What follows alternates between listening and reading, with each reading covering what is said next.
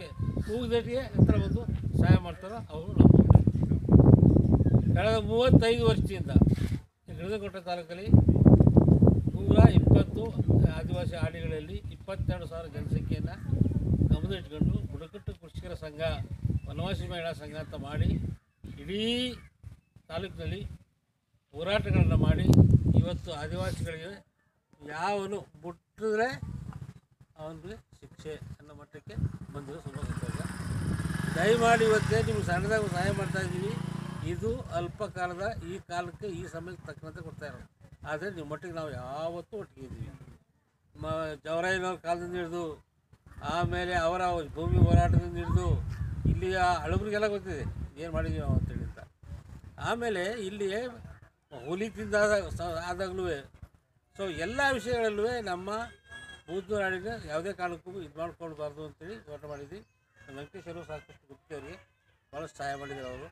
ಆದರೆ ಭಾಳ ಮುಖ್ಯವಾಗಿ ಆದಿವಾಸಿಗಳಲ್ಲಿ ಒಂದು ನಮ್ಮ ಒಂದು ಗೌರವ ಏನು? ನಮ್ಮ ಭಾಷೆ, ನಮ್ಮ ಸಂಸ್ಕೃತಿ, ನಮ್ಮ ಆಚಾರ ವಿಚಾರ, ನಮ್ಮ ಹಿರಿಯ ಪದ್ಧತಿ. ನಮ್ಮಲ್ಲಿ ಯಜಮಾನಿಕೆ ಮತ್ತು ಹಿರಿಯರ ಗೌರವ ಮತ್ತು ಇದು.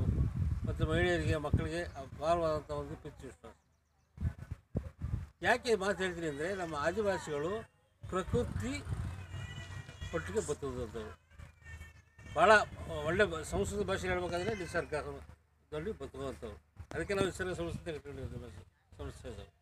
ನಿಸರ್ಗದೊಟ್ಟಿಗೆ ಯಾರಿರ್ತಾರೆ ಅವರೊಟ್ಟಿಗೆ ನಾವು ಕೆಲಸ ಮಾಡೋದು ಅಂತೇಳಿ ಆ ಸಂಸ್ಥೆ ಕಟ್ಕೊಂಡಿರೋದು ಇವತ್ತು ಸಂತೋಷ ಏನಂದರೆ, ಕೋಟೆ ತಾಲೂಕಿನ ನೂರಿಪ್ಪತ್ತು ಹಾಡಿಗಳಲ್ಲಿ ಇಪ್ಪತ್ತೆರಡು ಸಾವಿರ ಜನರಲ್ಲಿ ಒಬ್ಬರು ಕೊರೋನಾ ಇಲ್ಲ. ಈಗ ಪ್ರಶ್ನೆ ಯಾಕಿಲ್ಲ? ಬಡವರಲ್ಲ ನಾವು. ಕಷ್ಟರಿದ್ದೀವಲ್ಲ ನಮ್ಗೆ ಕೊಡು ಬರ್ಬೇಕಾಯ್ತಲ್ಲ ಕಾಯಿಲೆ ಯಾಕೆ ಬರಲ್ಲ? ಆದರೆ ಭಾಳ ಮುಖ್ಯ ವಿಷಯ ಏನಂದರೆ ದಯಮಾಡಿ ತಿಳ್ಕೊಳ್ಳಿ ನೀವು ಬ್ರೆಡ್ಡು ಬರ್ಗರು ಆಮೇಲೆ ಪಿಸ್ ಪಿಸ್ಸಾ ಪಿಜ್ಜಾ. ಪಿಜ್ಜಾ ಇವು ತಿನ್ನೋರಲ್ಲ ನೀವು. ಮಸಾಲೆ ಆಮೇಲೆ ಸಾದ ಸಾದಾ ಇವು ತಿನ್ನೋರಲ್ಲ. ನೀವು ಗಣಕೆ ಸೊಪ್ಪು.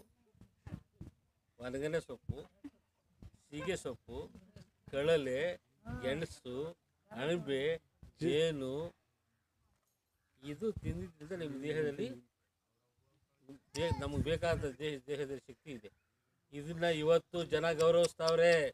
ಇಷ್ಟು ವರ್ಷ ಹೇಳ್ತಿದ್ರು, ಕುರುಬರು, ಸೊಪ್ಪು ತಿನ್ನೋ ಕುರುಬರು, ಅಣಬೆ ತಿನ್ನೋ ಕಾಡು ಕುರುಬರು ಅಂತ ನಿಮ್ಮನ್ನು ಹೇಳಿಸ್ತಿರಲ್ಲ ಈಗ ಆ ಜನ ಆ ಜನ ನೀವೇ ತಿಂತಿದ್ರಿ ಅಂತ ತಿನ್ನಕ್ಕೆ ಬಂದವ್ರು.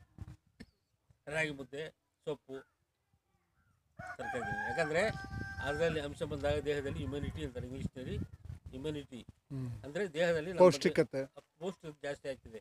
ಆಗ ಬೇರೆ ರೋಗಗಳು ಬಂದಾಗ ತಡೀತದೆ ಈ ಏನಿದೆ ಇದು ಕೊರೋನಾ ಇದೆಯಲ್ಲ ಇದೊಂದು ಕ್ರಿಮಿ.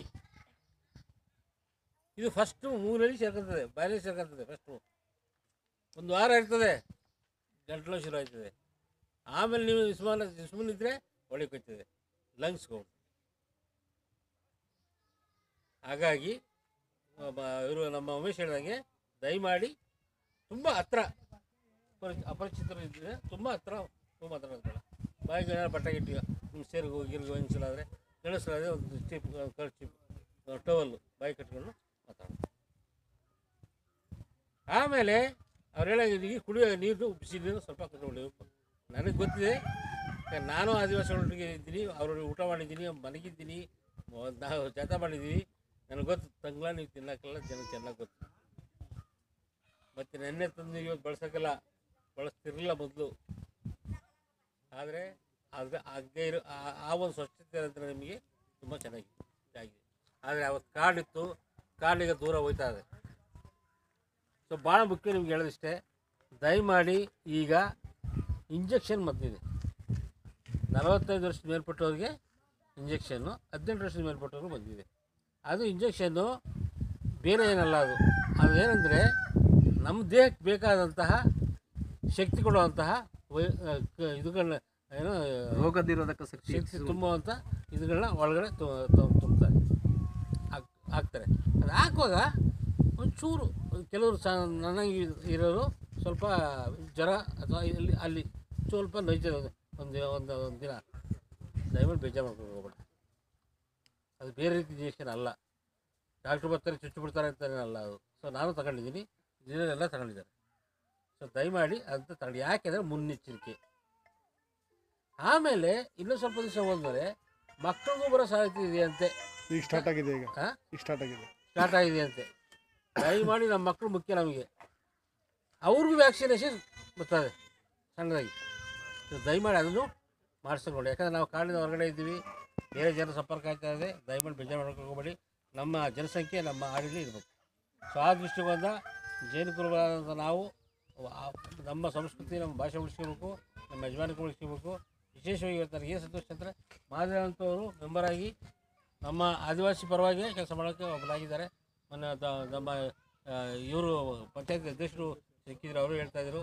ಸರ್, ನಮ್ಮ ಕಡೆ ಬಂದಾಗ ನೀವು ಆಡಿ ಕಡೆ ಬನ್ನಿ ಸರ್ ಅಂತ ಹೇಳ್ತಾ ದಯಮಾಡಿ ನಮಗೂ ವಯಸ್ಸಾಯಿತು. ನಮ್ಮ ಅಮ್ಮ ಹೇಳ್ದಂಗೆ ನಮಗೂ ವಯಸ್ಸಾಯ್ತಾ ಇದೆ.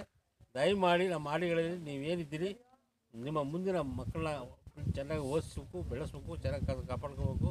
ಇದು ನಿಮಗೆ ಸಾಂಕೇತಿಕ ಕೊಟ್ಟಿರೋದು. ದಯಮಾಡಿ ಇದೇ ಎಲ್ಲ ಅಂತಲ್ಲ. ಇದು ನಿಮ್ಗೆ ಕೊಟ್ಟಾಕ್ಷಣಕ್ಕೆ ನಾವೇನು ನಿಮ್ಮ ಎಲ್ಲವನ್ನು ಮಾಡೋಕ್ಕಲ್ಲ ಹೇಳ್ತಾ, ವಿಶೇಷವಾಗಿ ಇವತ್ತು ನಿಮ್ಮ ಆಡಿಯ ಮುಖಂಡರು, ನಿಮ್ಮ ಉದ್ದೇಶ ಎಲ್ಲ ಸೇರಿ ಈ ಒಂದು ಸನ್ಮಾನ ಸಣ್ಣದಾಗಿ ಒಂದು ನನಗೆ ಗೌರವಿಸಿದ್ದೀರಿ. ಅದಕ್ಕೆ ನಾನು ತುಂಬ ಭಾರಿಯಾಗಿದ್ದೀರಿ ನಿಮಗೆಲ್ಲ ನಾನು ನಮಸ್ಕಾರವಾಗಿ ಮಾತು